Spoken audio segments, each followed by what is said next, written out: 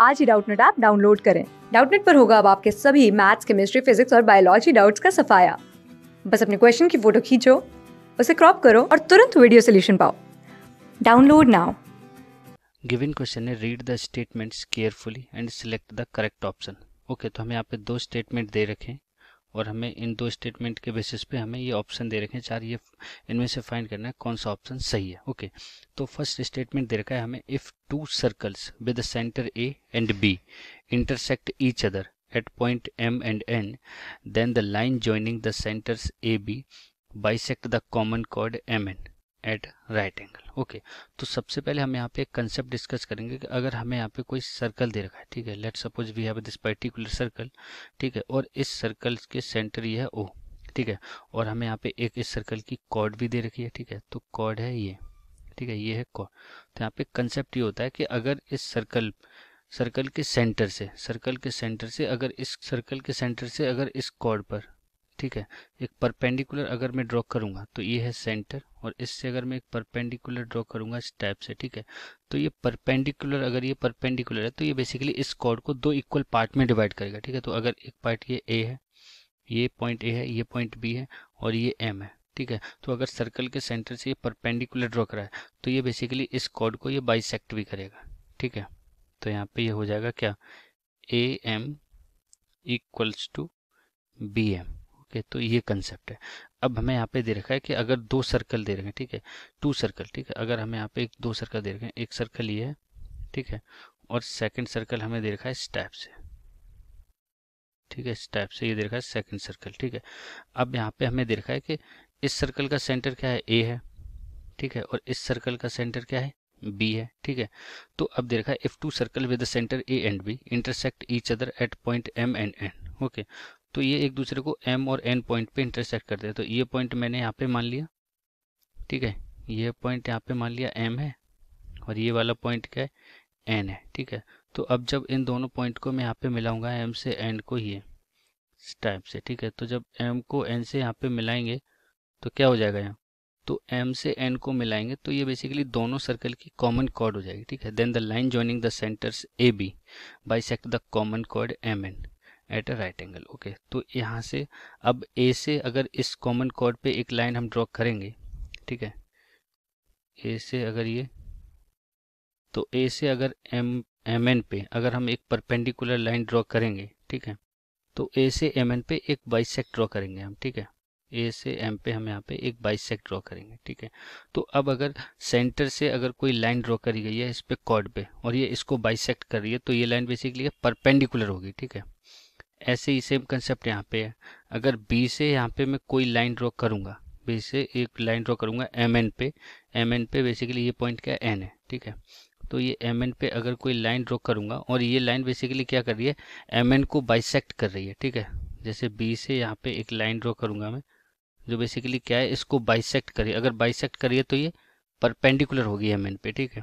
तो यहाँ पे हमें फाइंड क्या करना है तो हमें यहाँ पे यही देख रहा है कि then the line joining the centre A B bisect the common chord M N at right angle ठीक है? तो जो लाइन है बेसिकली ए बी लाइन है, ये एम एन कॉर्ड को अगर बाइसेक्ट करिए तो ये परपेंडिकुलर भी होगी। तो यही हम फाइंड कर चुके हैं कि ये परपेंडिकुलर भी होगी, ठीक है? तो फ़र्स्ट स्टेटमेंट दे रखा है, ये क्या हमारा? ट्रू है, ठीक है? और सेकंड स्टेटमेंट में क्या दे रखा है? सेकंड स्टेटमेंट में दे रखा है if two circle of radius ten centimetre eight centimetre intersect each other okay तो यहाँ पे हमें दो सर्कल दे रखे हैं। एक सर्कल तो दे रखा है टेन सेंटीमीटर का, ठीक है? इस टाइप से। और दूसरा सर्कल हमें दे रखा है क्या? एट सेंटीमीटर का। ठीक है, दूसरा सर्कल दे रखा है एट सेंटीमीटर का। ओके इस टाइप से।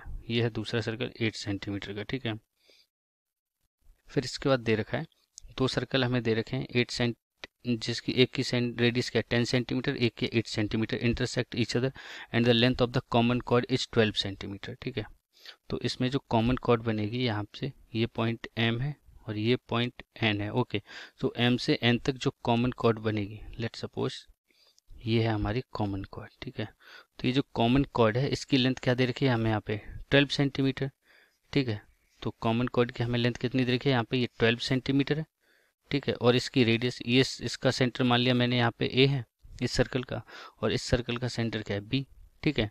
अब इस सर्कल के सेंटर से, यहाँ पे मैं अगर एक बाइसेक्टर ड्रॉ करूँगा एम एन पे जो बेसिकली हमें दे रखा है, ये कॉर्ड एम पे अगर मैं बाई सेक्टर ड्रॉ करूँगा तो ये बेसिकली क्या होगा? अगर सर्कल के सेंटर से किसी कॉर्ड पे अगर हम बाई सेक्टर ड्रॉ करते हैं तो ये बेसिकली परपेंडिकुलर बाई सेक्टर होता है, ठीक है? ये परपेंडिकुलर होता है। ऐसे ही सेम यहाँ पे मैं इस पॉइंट इस कॉर्ड से बी से सेंटर बी से यहाँ पे कॉर्ड पे एक और बाई सेक्टर ड्रॉ करूँगा, इस टाइप से, ठीक है? यहाँ पे ये सेंटर भी, यहाँ पे मैं मान ले रहा हूँ। तो यहाँ से ड्रॉ करूँगा तो ये भी परपेंडिकुलर होगा, ठीक है? तो अब अगर ये क्या पॉइंट मैंने ओ मान लिया तो इसकी वैल्यू भी सिक्स होगी और इसकी भी एम ओ भी सिक्स होगा, ठीक है? तो यहाँ पे मैं लिख लूँगा M O equals to N O equals to six centimetre okay और इसकी रेडियस क्या है? इसकी रेडियस है बेसिकली टेन सेंटीमीटर ठीक है? तो यहाँ पे मैं इसको इससे मिला दूँगा तो ये हो जाएगा टेन सेंटीमीटर ठीक है? और इस सर्कल की रेडियस क्या है? इसकी रेडियस है यहाँ पे बेसिकली ये एट सेंटीमीटर ठीक है? इसकी रेडियस क्या है ये? एट सेंटीमीटर ठीक है?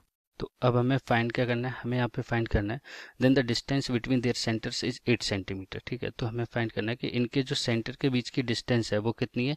एट सेंटीमीटर यानी कि ए बी की वैल्यू हमें यहाँ पे फाइंड करनी है कितनी है, ठीक है? तो अब यहाँ पे ये एंगल कितना है? 90 डिग्री है और ये बेसिकली सिक्स है और ये टेन है। तो अगर राइट एंगल ट्राइंगल हमें दे रखा हो तो हम एक पाइथागोरियन ट्रिपलेट जानते हैं, क्या होता है? सिक्स एट टेन ओके यहाँ पे टेन क्या है? हाइपोटिनस ठीक है? तो सिक्स तो ये दे रखी है हमें, और ये टेन हाइपोटिनस दे रखा है। तो ये ए ओ की लेंथ कितनी हो जाएगी यहाँ से? एट ठीक है? तो ए ओ की लेंथ क्या हो जाएगी यहाँ से? एट ओके ऐसे यहाँ पे हमें ये भी परपेंडिकुलर है। ये भी बेसिकली राइट एंगल ट्राइंगल दे रखा है, जिसमें एक साइड क्या है? सिक्स है, एक है एट ठीक है? तो ये साइड कितनी हो जाएगी यहाँ पे? ओ बी ओ बी यहाँ से हो जाएगी कितनी? ओ बी हो जाएगी बेसिकली तो यहाँ से ओ बी की लेंथ आ जाएगी कितनी बेसिकली स्क्वायर रूट एट का स्क्वायर यानी कि सिक्सटी फोर माइनस सिक्स का स्क्वायर थर्टी सिक्स ओके तो ये कितना हो जाएगा? यहाँ पे ये हो जाएगा स्क्वायर रूट तो ये हो जाएगा square root twenty eight okay.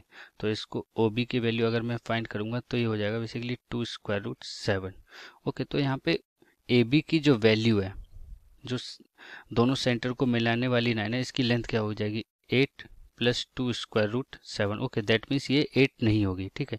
तो यहाँ पे जो सेकंड स्टेटमेंट दे रखा है, ये क्या है? फॉल्स है, ठीक है। तो अब यहाँ पे हम ऑप्शन देखेंगे तो यहाँ क्या दे रखा है? Statement first is false and but statement second is true okay तो यहाँ पे ये ऑप्शन थ्री भी गलत है ऑप्शन टू भी गलत है ऑप्शन फ़र्स्ट भी गलत है। ऑप्शन फोर्थ में दे रखा है statement first is true but statement second is false okay तो option four is our right answer thank you class six से ट्वेल्थ से लेके NEET I I T JEE Mains और एडवांस के लेवल तक। दस मिलियन से ज़्यादा स्टूडेंट्स का भरोसा। आज ही डाउनलोड करें डाउट नेट आप या व्हाट्सअप कीजिए अपने डाउट्स आठ चार सौ चार सौ चार सौ पर।